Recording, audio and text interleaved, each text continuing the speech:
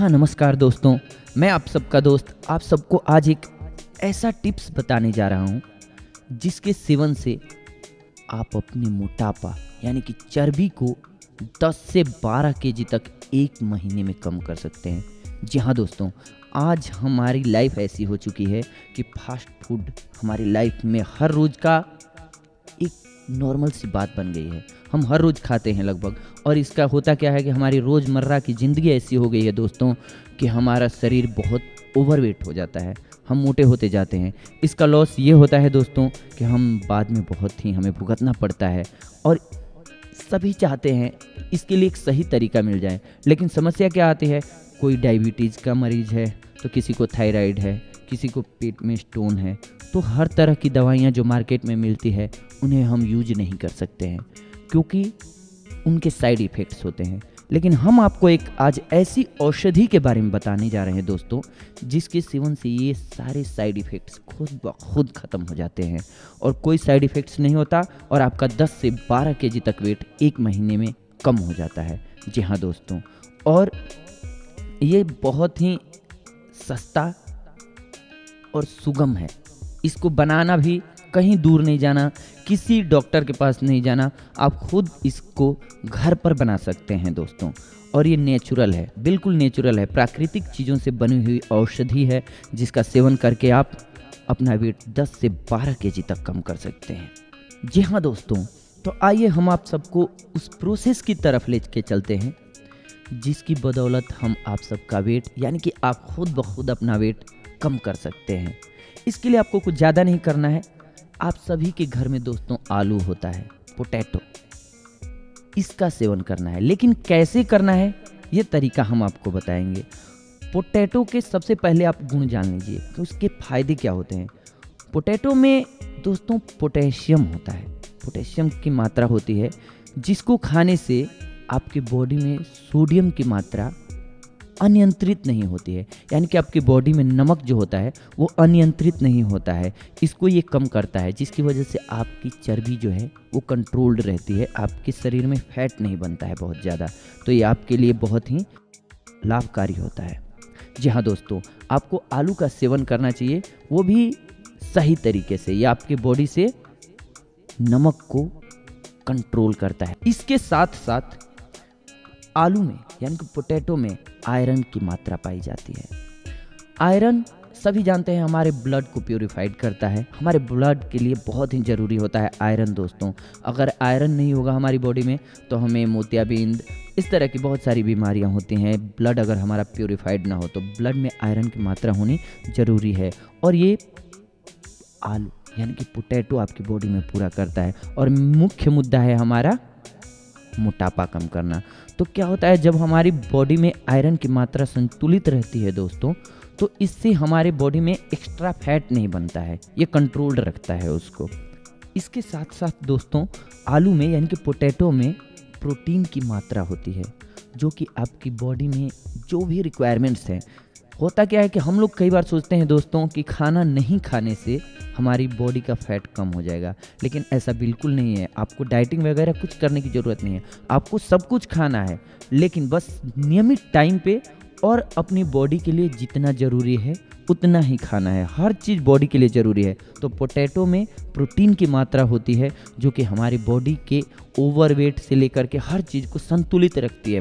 Potato रहेगा, आपकी body में कमज़ोरी नहीं होगा और ना ही थायराइड की समस्या होगी। थायराइड वालों को भी बहुत सारी प्रॉब्लम होती है, इसलिए भी बॉडी सूझ जाती है। तो इसलिए भी हमारी बॉडी को प्रोटीन की आवश्यकता होती है दोस्तों।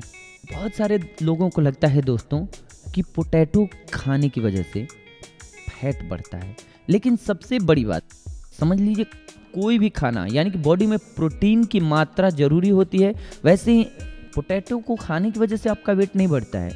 वेट बढ़ता है अगर आप गलत तरीके से खाएँ, जैसे कि उसको बहुत ऑयली में आप उसको तल लिए, मसालेदार बहुत बना दिए, तब तो लॉस करेगा ही दोस्तों, क्योंकि उसमें वो एलिमेंट्स आपने मिक्स कर दिए।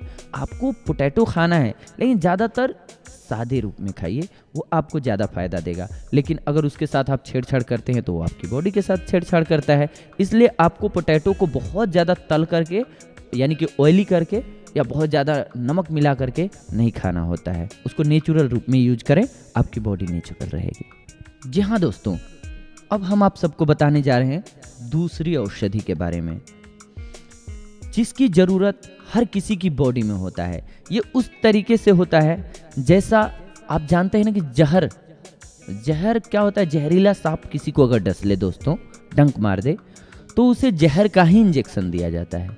लेकिन करेला कतई जहर नहीं है, लेकिन हमारी बॉडी के लिए फैट के लिए वो एक जहर की तरह ही काम करता है। फैट को ऐसे ख़त्म करता है, जैसे कि जहर किसी मनुष्य या सजीव के ज़िंदगी को। फैट से इसकी खासी दुश्मनी है। क्यों? क्योंकि करेला जब हम खाते हैं दोस्तों तो क्या होता है, उसको पचाने के लिए कैलोरी की ज़रूरत होती है, डाइजेस्ट करने के लिए कैलोरी की ज़रूरत होती है। और वो कहाँ से निकल के आती है? जो हमारी बॉडी में फैट्स होता है। कैलोरी से फैट बनता है और ये इसको बर्न कर देता है, क्योंकि इसमें निगेटिव कैलोरी होती है। तो अब क्या हुआ कि कैलोरी को ये बर्न कर देता है, जिससे हमारी बॉडी में फैट नहीं बन पाता है दोस्तों। तो इसलिए करेला एक महत्वपूर्ण औषधि के रूप में है, या यूँ कहें रामबाण के रूप में है। और डायबिटिक लोगों के लिए तो ये रामबाण ही है दोस्तों, उसकी ज़िंदगी है। क्योंकि अगर ब्लड में आपके शुगर की मात्रा बढ़ी हो तो आपको जानते हैं कि कोई भी हमारी बॉडी में घाव हो, या किसी भी प्रकार की प्रॉब्लम होती है, वो ख़त्म नहीं होती है जल्दी। लेकिन करेला आपकी बॉडी में रोगों से लड़ने की क्षमता को निखारती है, बढ़ाती है, यानी कि रोग प्रतिरोधक क्षमता को ये ग्रो करती है, बढ़ाती है। इससे हमारी बॉडी जो है, वो रोगों से बहुत जल्दी लड़ करके ठीक हो जाते हैं। इसके साथ साथ दोस्तों, करेला जो है, वो लीवर को लीवर को क्लीन रखता है। यानी कि आपको अगर यूरिन संबंधी कोई भी समस्या है दोस्तों तो इसमें भी ये रामबाण की तरह काम करता है। क्योंकि ये प्योरीफाइड करता है। बेसिकली ब्लड को भी प्योरीफाइड करता है।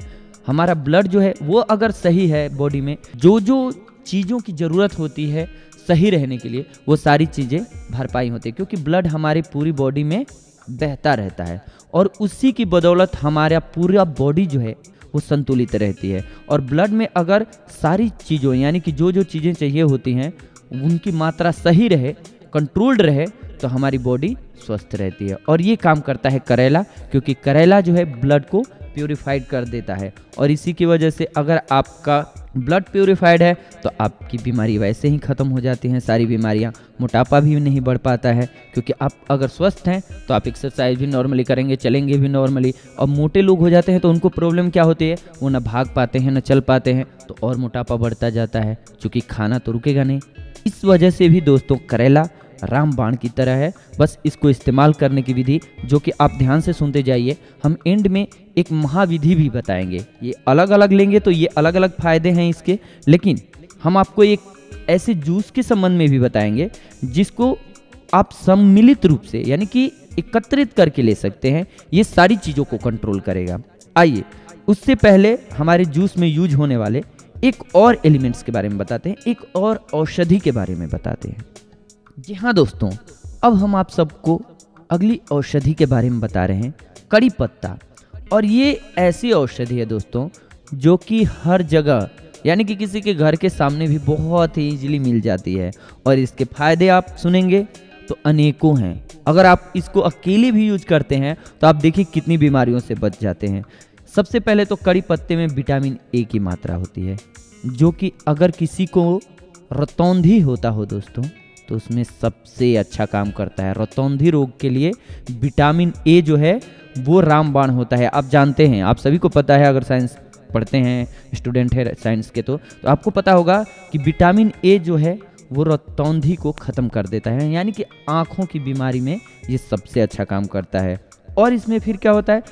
विटामिन बी भी होता है जो कि फोलिक एसिड को कंट्रोल करता है। यानी कि आपको यूरिन संबंधी कोई भी प्रॉब्लम है, उसमें इन्फेक्शन हुए या कुछ भी है तो या प्रेगनेंसी के दौरान औरतों के लिए भी ये बहुत ही लाभकारी साबित होता है।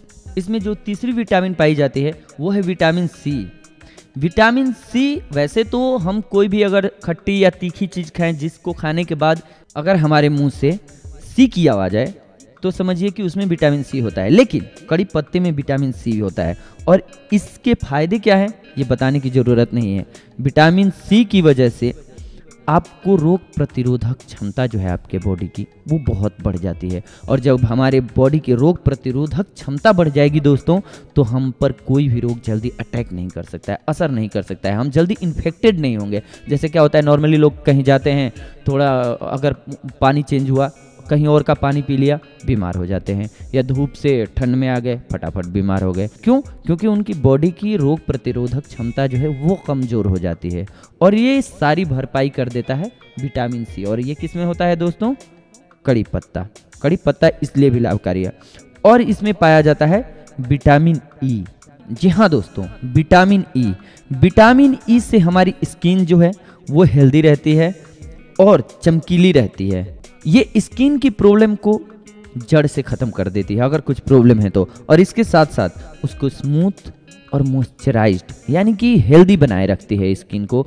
सभी लोग चाहते हैं कि मैं बहुत सुंदर दिखूं और इसमें ये सहायक होता है। वैसे तो खास करके औरतों को बहुत ज़्यादा शौक होता है। वैसे उनको भी हैंडसम दिखने का बहुत शौक होता है।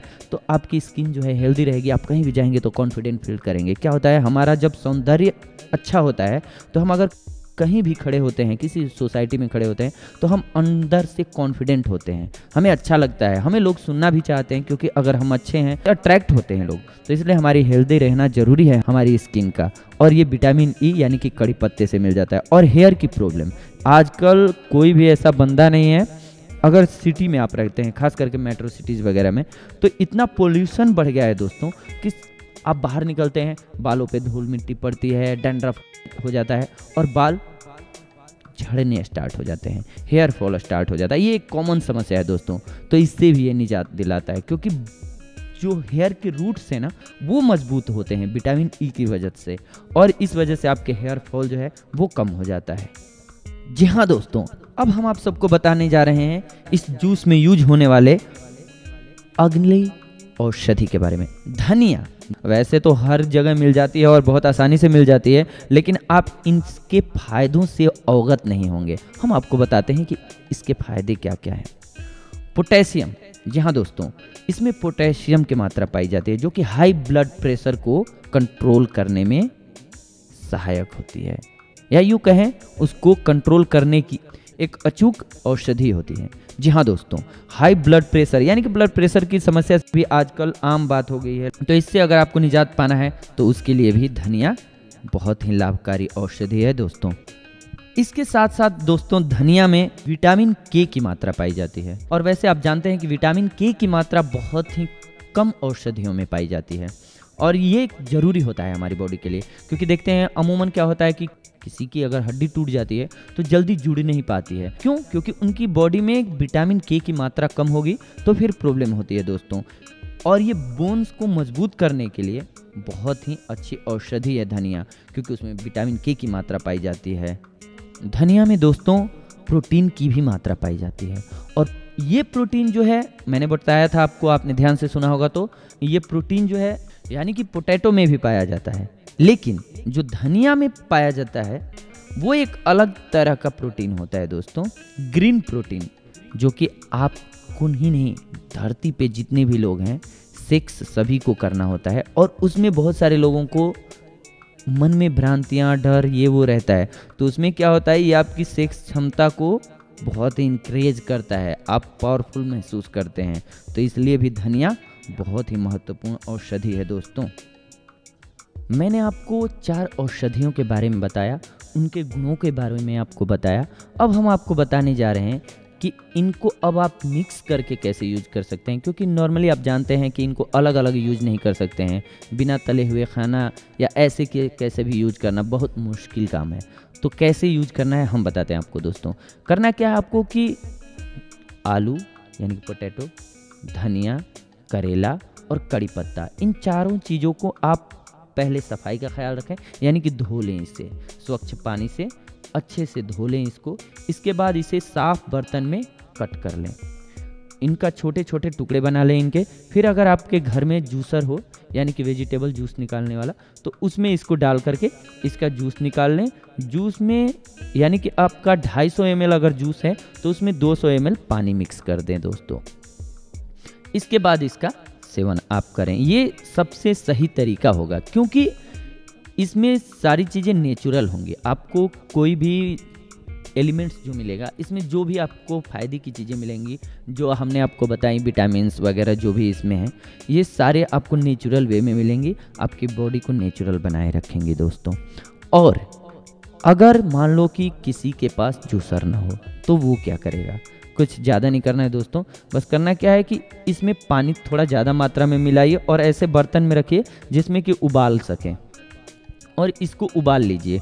उबाल करके छान दीजिए और जूस जो बचेगा, यानी कि पानी जो बचेगा, उसका सेवन कर लीजिए। हालाँकि सबसे अच्छा होगा कि उसको कच्चा आप जूसर से जूस निकाल लीजिए, या अगर तीसरा तरीका है कि उसको कूट लीजिए। अगर आपके पास जूसर नहीं है तो उसे कूट लीजिए और इसके बाद उसे सूती कपड़े में रख करके निचोड़ दीजिए, जूस निकल जाएगा दोस्तों।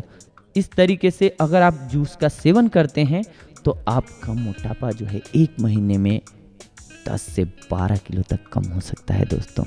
बिल्कुल, आपको बस हमने जो विधि बताई, इसका ख्याल रखना है। ये जूस खुद ब खुद आपके मोटापे का ख्याल रख लेगा दोस्तों। नमस्कार, हम आपको एक और टॉपिक पर अगली बार मिलेंगे। धन्यवाद।